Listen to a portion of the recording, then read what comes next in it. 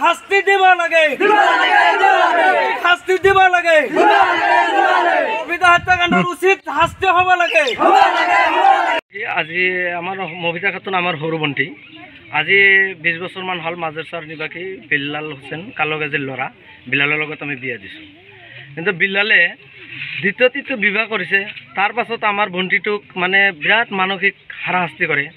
মানে হাৰাশাস্তি এনেকুৱা কৰে যিটো তাৰমানে যোৱাকালি সীমা পাৰ হৈ গৈছে আৰু কি তাৰপাছত সিহঁতে মেডিকেলত লৈ আহিছিল যদিও মেডিকেলত লৈ অহাৰ পিছত ডক্টৰে পৰীক্ষা নিৰীক্ষা কৰাৰ পিছত এইটো আগতে ডেট হৈছে বুলি আমাক কৈছে আৰু কি তাৰপাছত পষ্টমৰ্টেল কৰিবৰ কাৰণে আমাৰ আৰক্ষী চকীৰ মানুহগিলাক লগত যাই সেনা আমাৰ বৰপেটা ফখৰুদ্দিন আলী আহমেদ মেডিকেল কলেজত লৈ গৈছিল।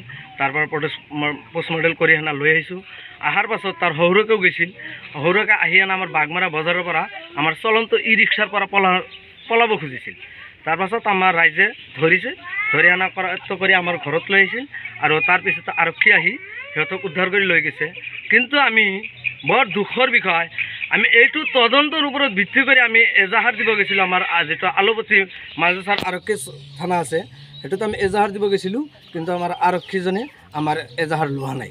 আমাক কৈছে এইটো পষ্টমৰ্টেলৰ ৰিপৰ্ট অহাৰ পিছতহে এইটো মানে এজাহাৰ দিয়া হ'ব বুলি আমাক। এইটো মানে ইহঁতৰ আমাৰ এই বিল্লাল হুছেইনৰ পৰিয়ালৰ বৰ্গৰ মানুহখিনি যিখিনি আছে গোটেইখিনিয়ে তাক মিলি জুলি তাক হত্যা কৰিছে এইটো।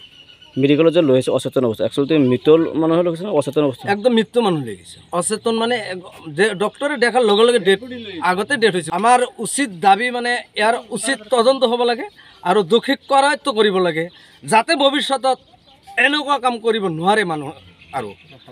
আৰু আমি ইয়াৰ উচিত শাস্তি খোজোঁ।